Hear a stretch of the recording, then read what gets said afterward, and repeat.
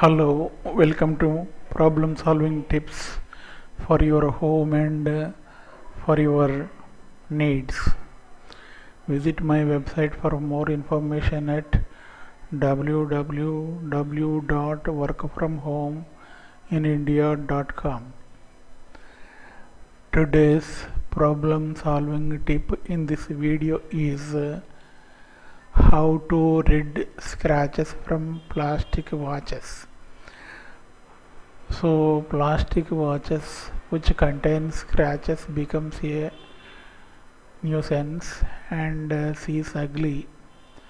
So here is a tip for your favorite watches.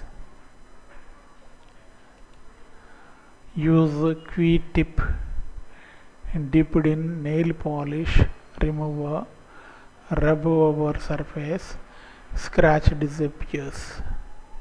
Okay? You got i think you got the tip. Enjoy. Thank you for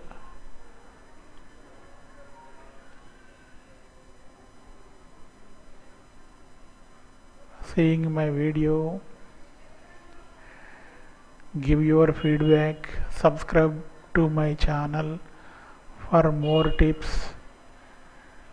There are many tips in the coming days.